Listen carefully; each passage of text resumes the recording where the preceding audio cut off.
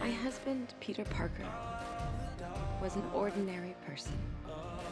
He always said it could have been anyone behind the mask. He was just the kid who happened to get bit. I'm going to miss him. Yeah. We were friends, you know. Can I return it if it doesn't fit? It always fits. Eventually.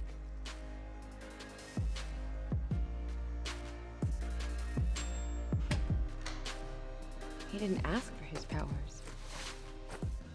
But he chose to be Spider Man. My favorite thing about Peter is that he made us each feel powerful.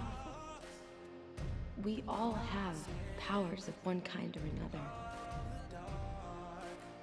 But in our own way, we are all Spider Man. And we're all counting on you.